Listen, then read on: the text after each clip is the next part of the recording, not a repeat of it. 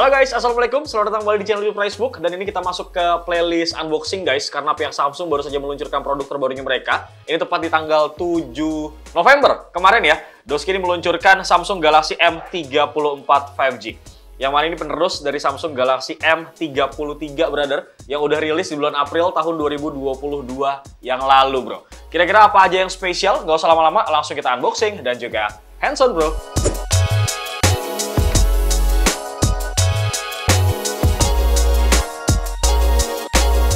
Yap, ini butuh waktu sekitar tiga bulan ya, brother, untuk pada akhirnya resmi masuk Indonesia. Karena ini sebenarnya rilis globalnya itu udah tiga bulan yang lalu, bulan Juli di India.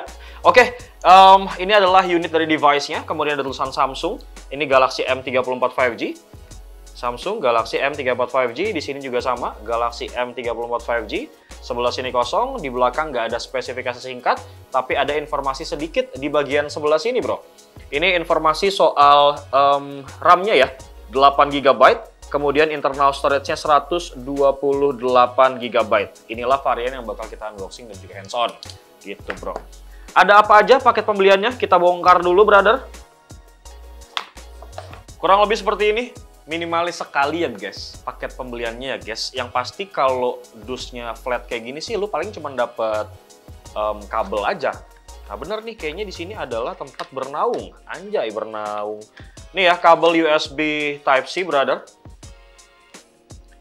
Kepala chargernya nggak dapet ya, seperti yang gue bilang tadi. Kalau misalkan lu mungkin beli sebelum tanggal 19 November, mungkin bisa dapat yang 25 watt fast charging. Oke, selain itu tadi um, ada SIM ejector nih di sebelah sini, brother. Terus di dalamnya lagi ini ada manual book juga sama warranty card. Kurang lebih seperti itu paket pembeliannya ketika lo mentakis Samsung Galaxy M34 5G dan sekarang kita bakal masuk ke sesi hands on bro.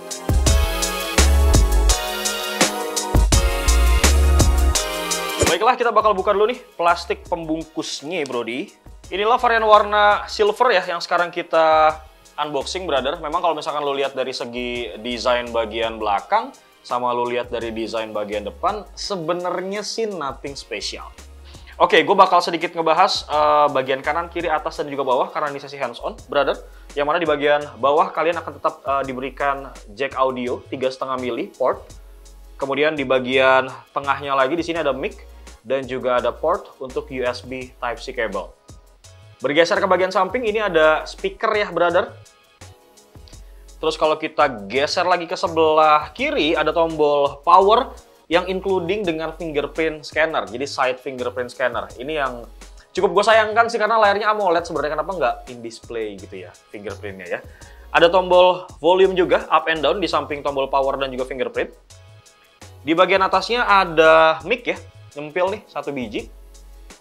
Kemudian di bagian samping sebelah kanan ini ada SIM tray yang bakal gue cek ya brother. Nah, Doski ini hanya bisa menampung dua, dua slot SIM card aja, nggak bisa lu extend nih yang 128 GB.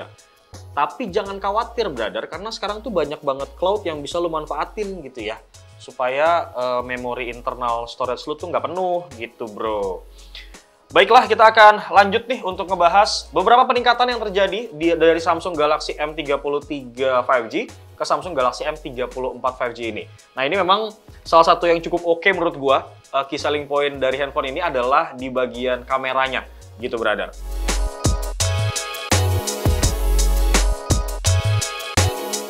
Kenapa menurut gue cukup oke okay ya? Karena Doski ini punya main kamera 50 megapiksel guys. Dan ada OIS-nya. Kemudian ada 8 megapiksel. Lensa ultrawide-nya juga ada. Bukan diafragmanya f2.2. Dan terakhir adalah 2 megapiksel ya untuk makronya, brother.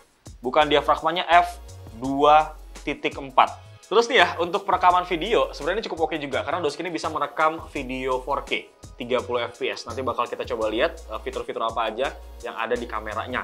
Gitu, bro. Dari bagian belakang kita akan ke bagian depan ya. Gue bakal nyalain unit dari device-nya.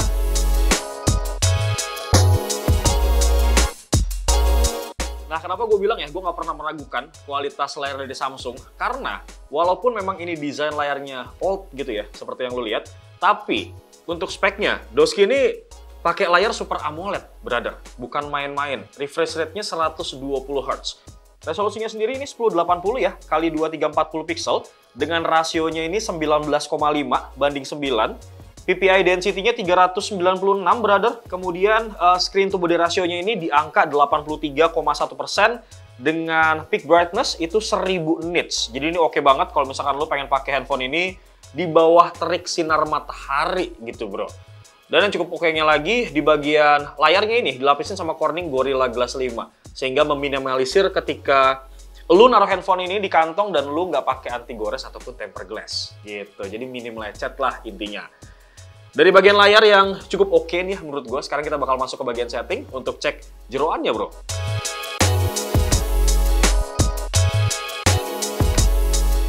Nah ini untuk jeroannya ataupun chipsetnya, Doski ini pakai um, chipset becutan Samsung ya, yaitu Exynos 1280.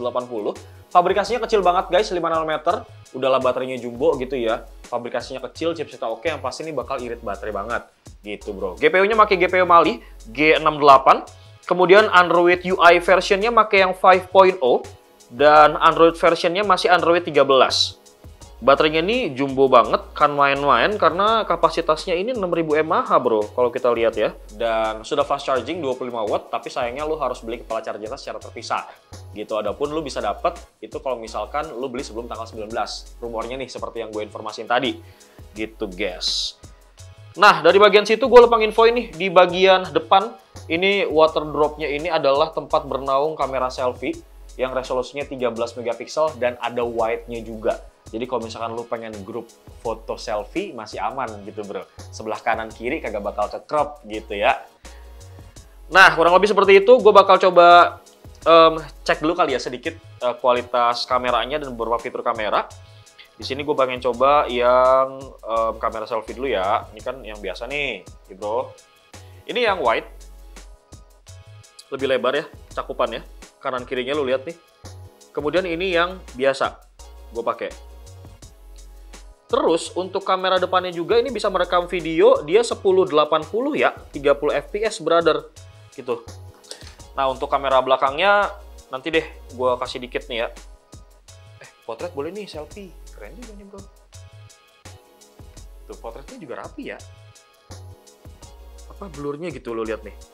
Tuh jadi fokusnya ke muka gue doang, belakangnya blur gitu rapi. Gue zoom nih ya tuh. Nah gitu bro, kurang lebih hasil kamera belakang kali ya sekarang ya. Dikit aja tipis-tipis. Kenapa gue bilang tipis-tipis bro?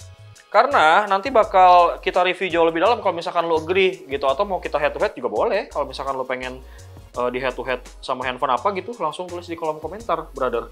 Ini hasil kamera belakangnya nih. Nah, buat lo semua yang pengen ngetakis, sebenarnya udah bisa banget uh, hari ini lo bisa takis di beberapa online e-commerce ya, terutama di official store-nya Samsung ataupun di website Samsung, juga bisa lo takis ada dua varian, yang 128GB sama yang 256GB. Lu butuh yang mana tinggal lu pilih aja. Gitu, bro.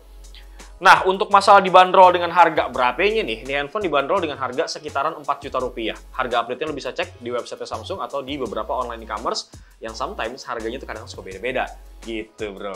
Kurang lebih seperti itu unboxing dan juga hands-on singkat kita nih soal Samsung Galaxy M 34 5G kali ini guys, apakah menurut lo dengan harga sekitaran 4 ribuan handphone ini worth it atau enggak? Langsung tulis di kolom komentar. Dan apakah lo setuju kalau handphone ini kita hajar untuk mainin game-game sekelas Genshin Impact mungkin, sekelas PUBG dan juga Mobile Legend, monggo langsung aja atau mau kita head to head dengan handphone apa di range harga yang sama, silakan. Kira-kira handphone apa ini? Tulis di kolom komentar. Gitu bro. Gue pamit. Assalamualaikum.